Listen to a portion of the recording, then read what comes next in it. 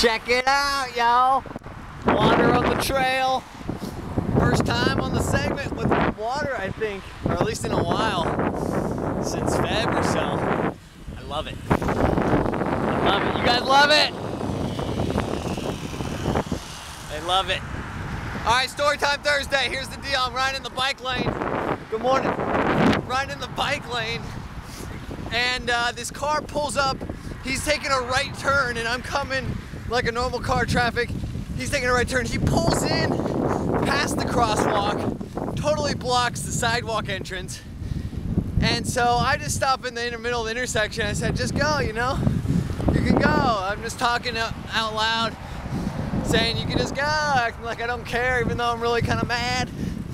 Little passive grass.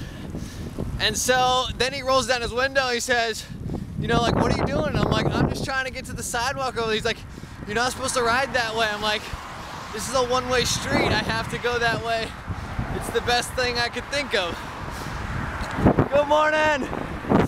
And uh, he's just trying to like sit there, have a little conversation. And I'm like, look, you're the one. And I think he had his head down when he pulled in past the crosswalk.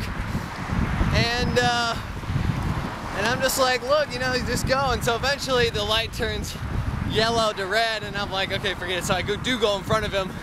Luckily, he didn't run me over. Good morning, yellow guy. And a little, little scared about that biker car. Good morning.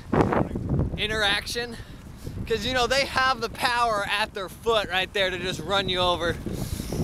But, you know, I try to be a good biker, but I didn't like the fact that he just kind of blew blew the crosswalk with his head down. Other than that, text, whatever, make a phone call.